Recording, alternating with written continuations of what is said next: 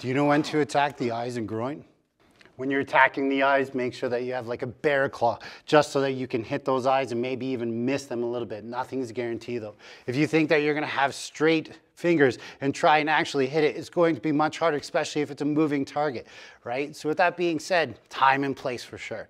When I'm throwing my hits to the groin, I'm making sure I have three points contact. I'm bracing into him, he's bracing onto the wall, I'm on my foot. Now I can actually drive forward because I have something helping me with my balance right? To think that you can just knee someone standing there, it's not very likely, especially if they have a real threat, and that threat is called forward energy.